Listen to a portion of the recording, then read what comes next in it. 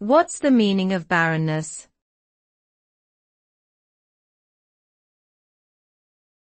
Barrenness.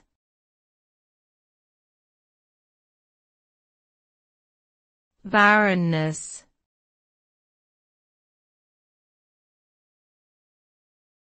Barrenness.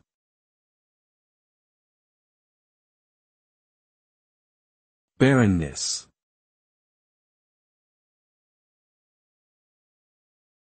Barrenness refers to the state of being unproductive, infertile, or unable to support life. In agriculture, a barren land is devoid of vegetation and nutrients that can support crop growth. In human terms, barrenness can refer to the inability of women to conceive or give birth. Barrenness can also describe a lack of creativity or productivity in artistic or intellectual pursuits.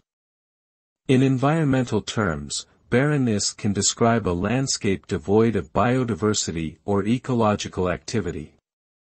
Overall, barrenness connotes a sense of emptiness and desolation, highlighting a lack of growth and vitality in various contexts.